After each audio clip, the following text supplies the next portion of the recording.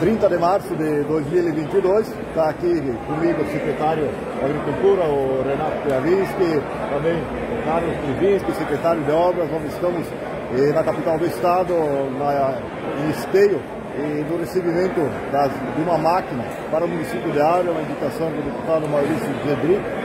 E hoje, então, a comunidade de Áurea também eh, sendo beneficiada. Então, nesse momento também faz o encerramento, aqui no, eh, no Parque de Exposições do Esteio.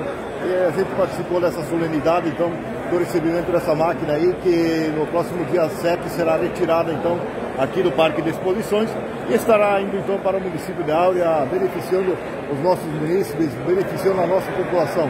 Uma luta aí e, travada junto com a bancada federal, e estadual, enfim, e com os nossos secretários aí, que também fazem parte dessa conquista, Renato.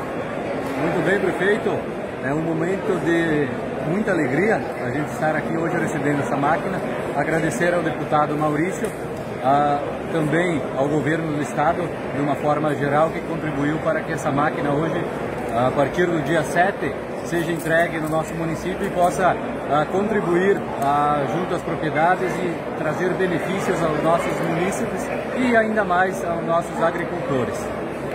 Secretário Carlos também, qual é o, a função, os benefícios dessa máquina aí para o município de Áurea aí na, na retirada?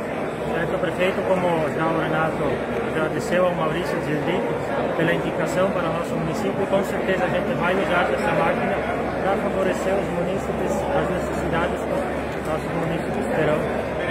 Essa máquina irá ajudar a suprir essas necessidades, com certeza. Muito bem, obrigado ao Carlos, ao Renato aí e conosco nessa solenidade e com certeza terão outras aí que a gente também estará participando, que será contemplado, sempre buscando o bem-estar dos municípios, buscando o bem-estar de nossa população, que é este o objetivo de toda a administração municipal e é isso que nós vamos continuar fazendo.